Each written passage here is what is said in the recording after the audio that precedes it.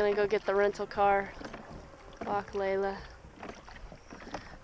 and then head over to the boat.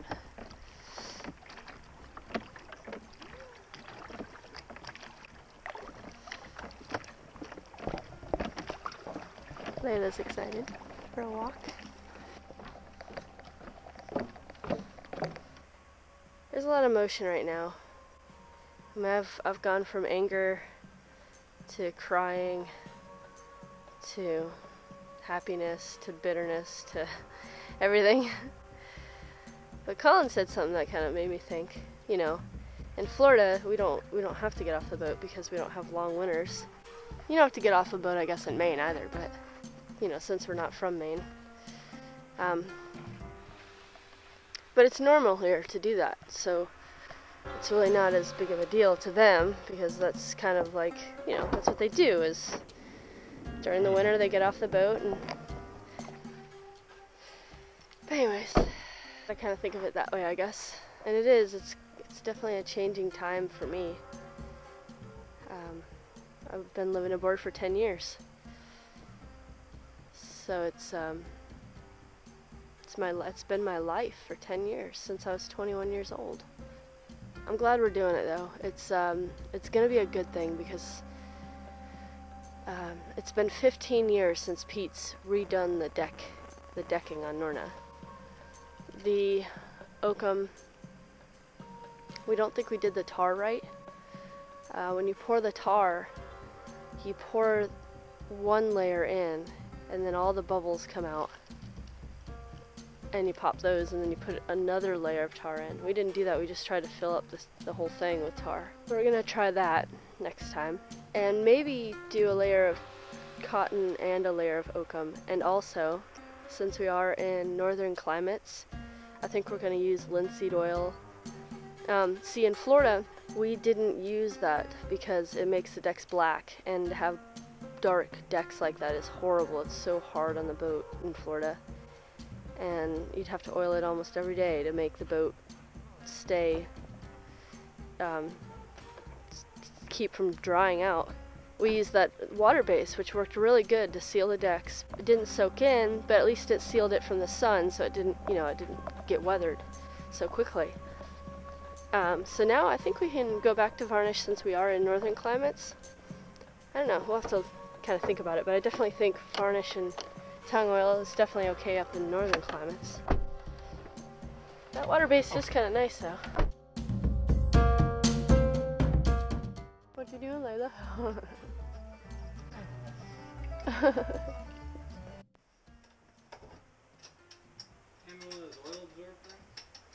we are gonna winterize the engine, and after we winterize the engine, I'm gonna start loading up the truck.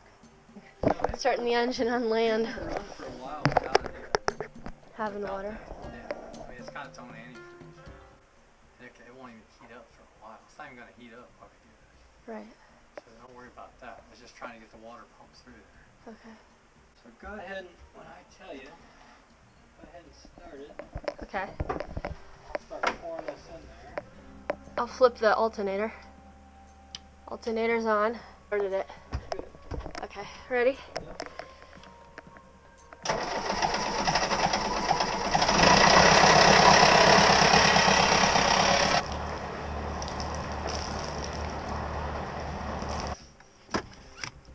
Pull this up and put it that way. There you go.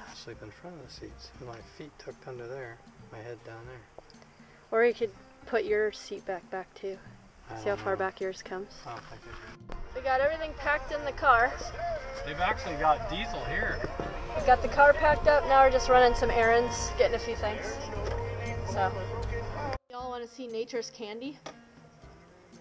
So these things are called husked cherries, and they're in a little husk. You pull the husk apart. You pull out the cherry. They're all wrapped in their own individual wraps. Gonna be busy cleaning out the sump in the bathroom.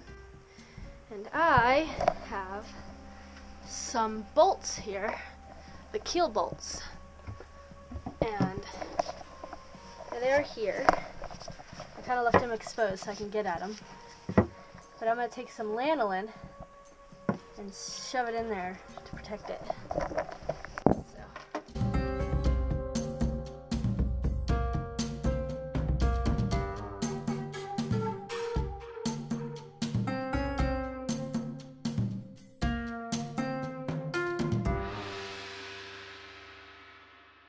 I tried Collins for a little while, but it was a pretty slow going process. Um, so far, a bent nail wins, or a bent file, something kind of bent over and thin at one end, but kind of tapers to be a little thicker, so you can kind of see, especially on our decks, because our decks are a little thicker, but you can see how it's kind of tapered. About this length is pretty good. It'd be nice if the handle was a little bit bigger, because I need to have more leverage. Um, but really this size isn't too bad, maybe a little bigger like that much. And uh, yeah, really works. The, uh, the cotton out. So thanks to Claudia and Fleckeroy for giving us that. Just needs a little modifying I think. We'll figure it out. It'll definitely work.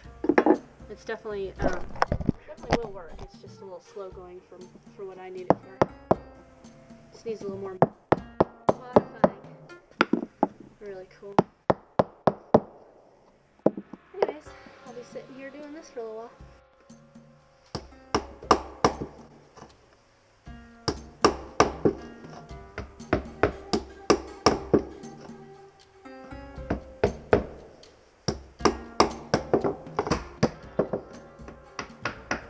And a couple things I learned. Um, right here, this was old oakum, and it looks really good, and it's still really pitchy. Pitchy. It's still really um, sticky. So, um, I think this was still kind of good. I mean, it was starting to get old, it looks like. Uh, it rips pretty easily, like I can kind of pull it apart pretty easily. Then another kind was this cotton, which was, which pretty much is disintegrating. Um, and this is uh, cotton, and you can tell it's real old and it's just flaking apart.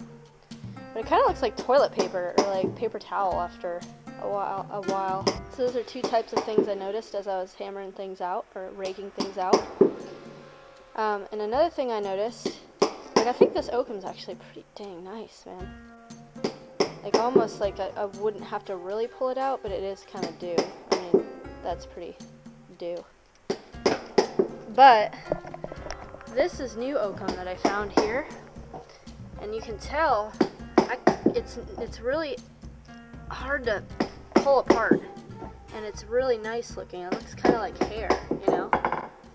Um, so this is still really good uh, caulking in here. Um, it was no, nothing from here back, and then I got to this, and it was good. And then I got to this seam, and now I'm getting to cotton, which obviously is just disintegrating. Um, so we're definitely noticing that our the reasons why our ducts are leaking. It's a long process, but it's worth it. We're getting there.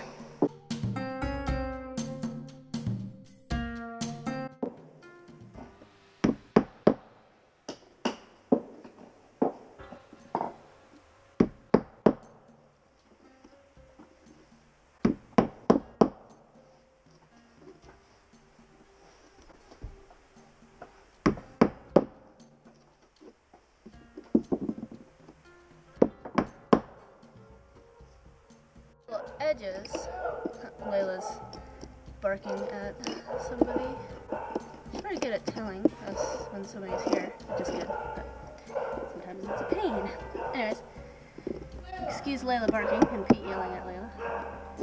But I just want to mention these little pieces right here that are kind of like edging or whatever of the deck. There's probably a name for it. Um, you have to be real careful not to break them.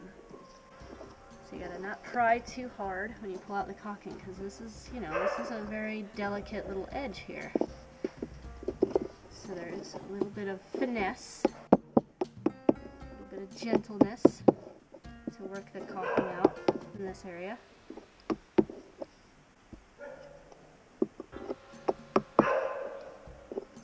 Yeah, be real gentle when you pull out this stuff. As gentle as you can with a sharp knife tool thing and a hammer. Yeah, you got caulk in here. This little edge looks like it got kind of chipped a little bit from Pete scraping scraping the tar.